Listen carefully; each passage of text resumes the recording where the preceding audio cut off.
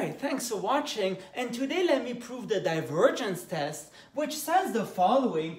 If a series converges, so if sum of an converges, then the sequence itself has to go to zero.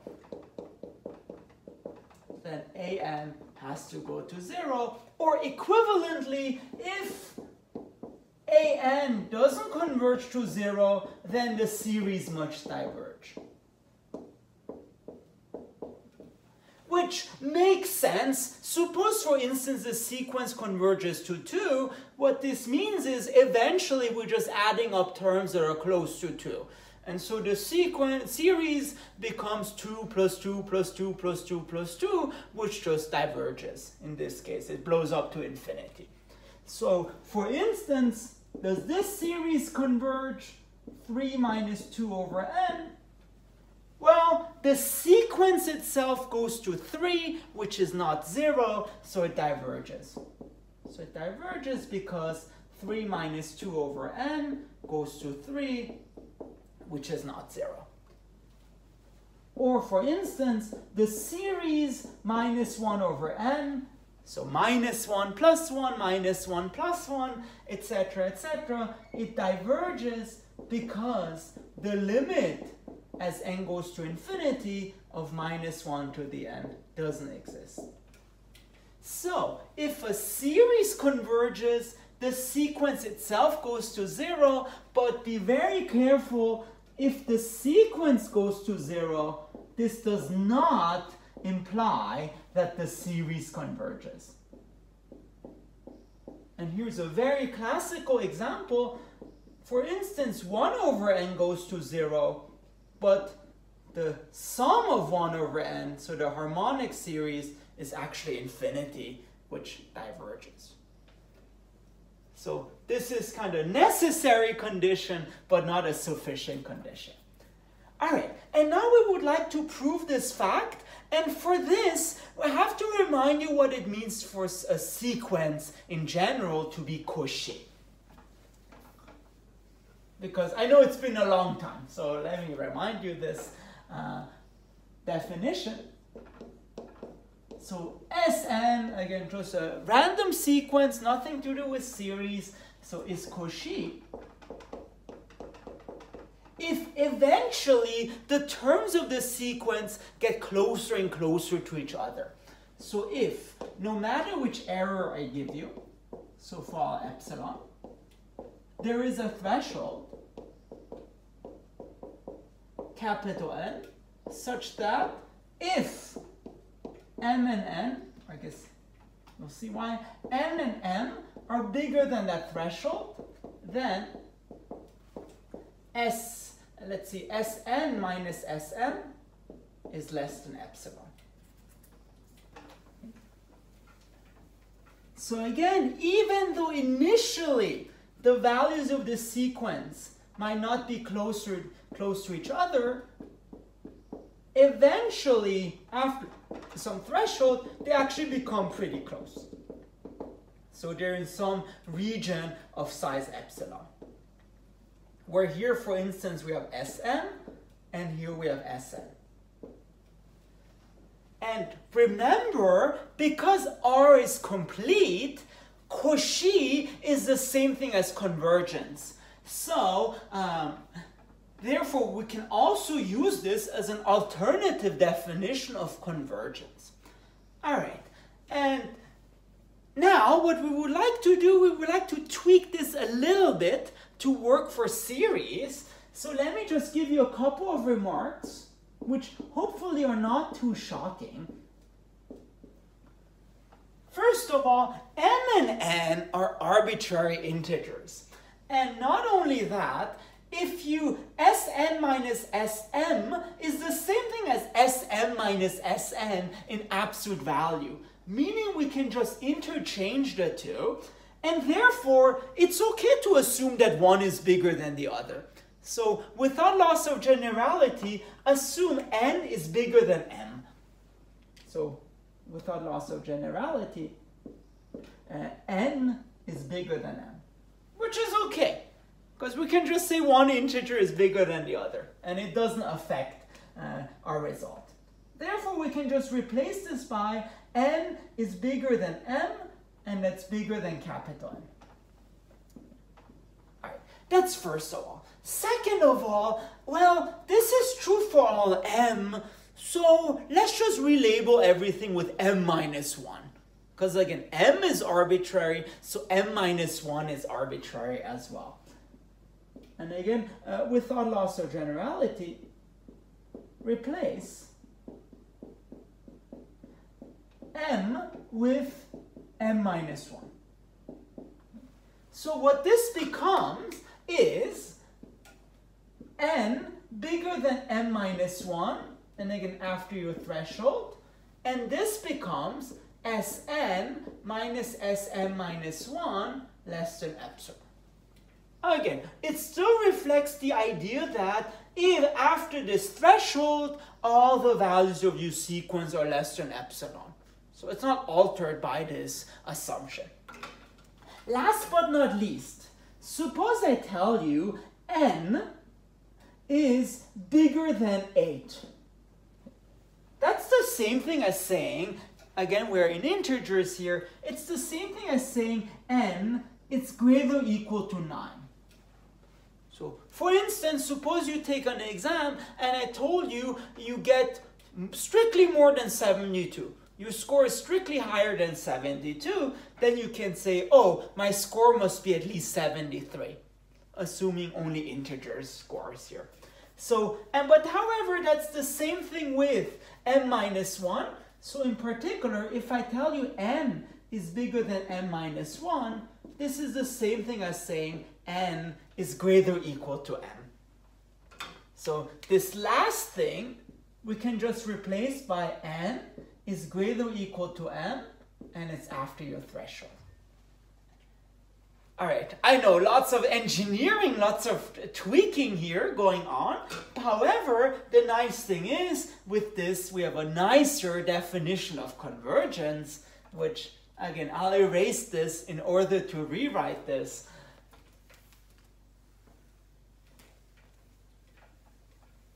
So here's our new definition of convergence. So definition if you want Sn converges or Sn is Cauchy, uh, if, again, no matter how small of an error I give you, so for epsilon positive, there is capital N such that if n is greater or equal to m and is after your threshold, then Sn minus Sm minus 1 is less than epsilon. Again, which still reflects the same idea that no matter how small of an error I give you, after the threshold, all the values of your sequence are eventually close to each other. Now you might say, why Peyam? Why did you take this wonderful easy definition and made it so complicated? because it works so well for a series. So in particular, let me apply this with our partial sums. So application.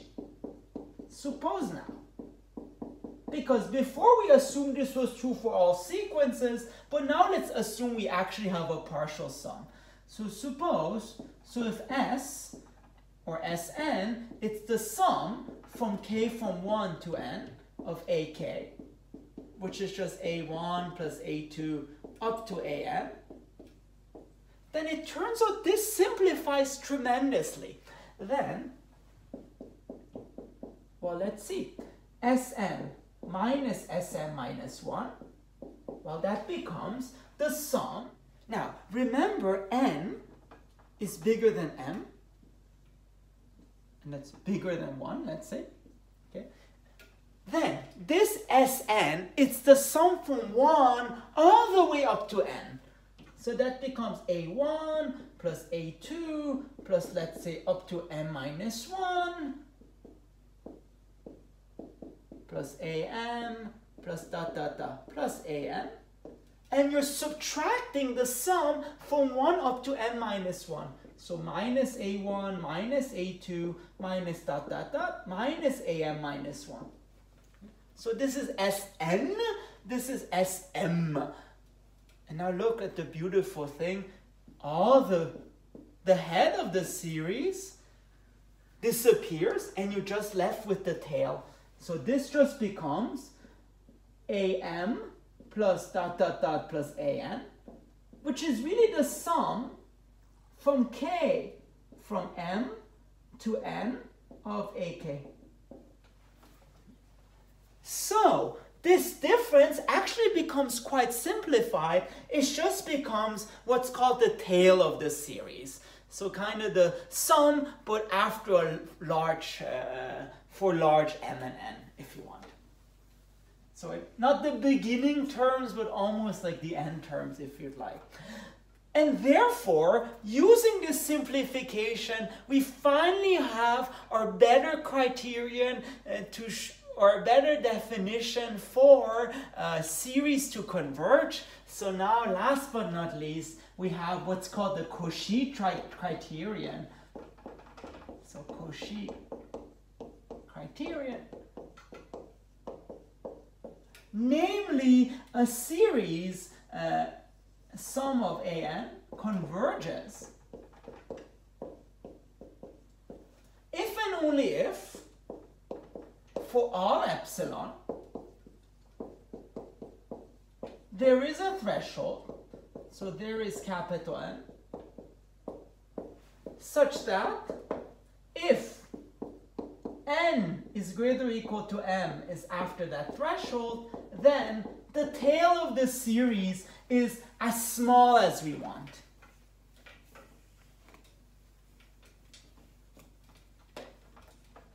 Then the sum from m to n of ak is less than epsilon.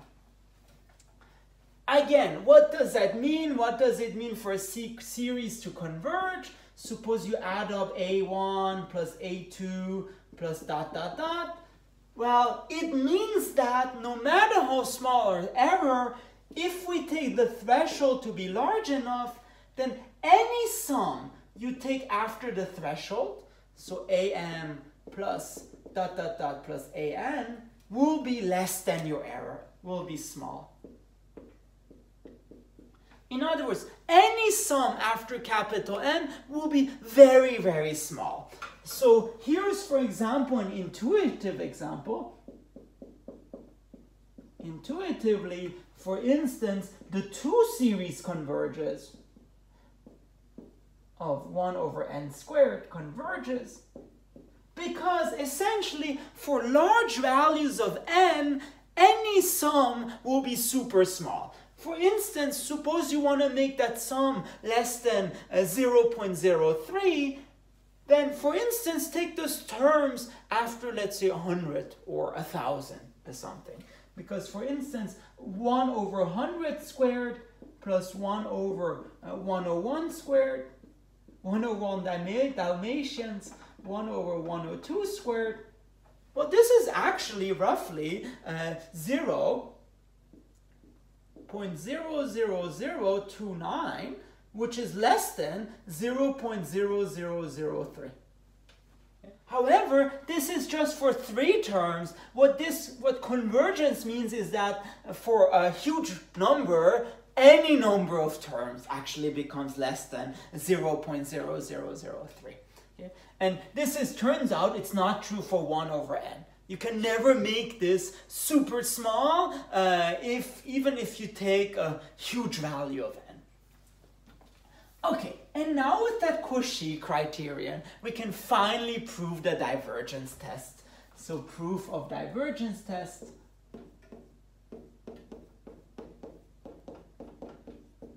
And you'll see it's just an application of this with a special value of n.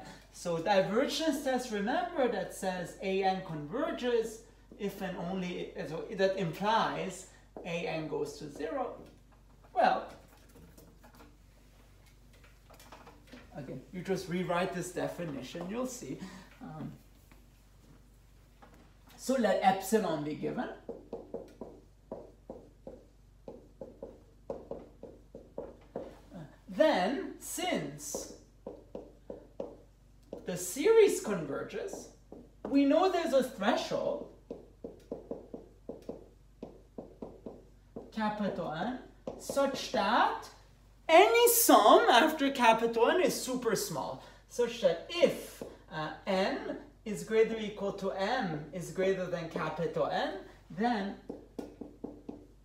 the sum uh, from m to n of ak is less than epsilon. Now, here's the thing. This is true for every n and m. So, in particular, it should be true if n equals to m. You see, there's a huge number of values for which this is true. So, in particular, it is true for the special case where n equals m. So then, uh, for the same capital N,